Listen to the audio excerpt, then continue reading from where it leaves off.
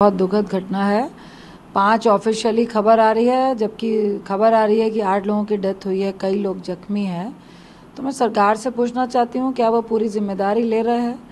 और क्या railway minister और प्रधानमंत्री ये बताएँगे कि उन्होंने एक कवच स्टार्ट किया था कि किसी भी हालात में वस से वस सिचुएशन में एक ही ट्रैक में दोनों, दो ट्रेनें नहीं आ पाएँगी तो अभी मालगाड़ी नॉर्मल ट्रेन पे चढ़ जाती है तो उनका कवच कहाँ है?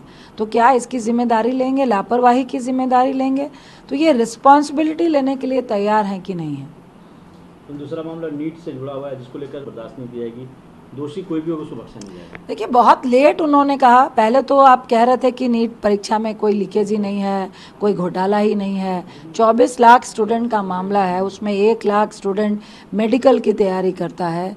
लोग कई लाख बच्चे खास कर आप देखेंगे तो मैक्सिमम जो नीट की तैयारी कर रहे होते हैं, रूरल एरियाज़ के होते हैं काफ़ी, मिडिल क्लास के होते हैं। कई पेरेंट्स ने ज़मीन बेच बेच कर और अपने बच्चों को कोचिंग दिलाई होती है और बच्चे 24 घंटे में कई बच्चे 18-18 घंटे पढ़ाई कर रहे होते हैं और कोई पेपर लीक वाला चीटिंग करके और घोटाले से निकल कर आ जाए तो ये बहुत ज़्यादा स्टूडेंट के लिए धक्का लगने वाली चीज़ है और ऊपर से सरकार का ये कहना कि ऐसा कुछ पेपर लीक नहीं हुआ है। अब जाके मिनिस्टर हम सुन रहे हैं कि वो कह रहे हैं कि हाँ हुआ है और बिहार में तो तेरह तेरह गिरफ्तारियाँ भी हुई हैं और सरेआम दिख रहा है कि पेपर लीक में किसी को पचास लाख, किसी को एक एक करोड़ रुपए, इस तरह का लेन देन भी हुआ है।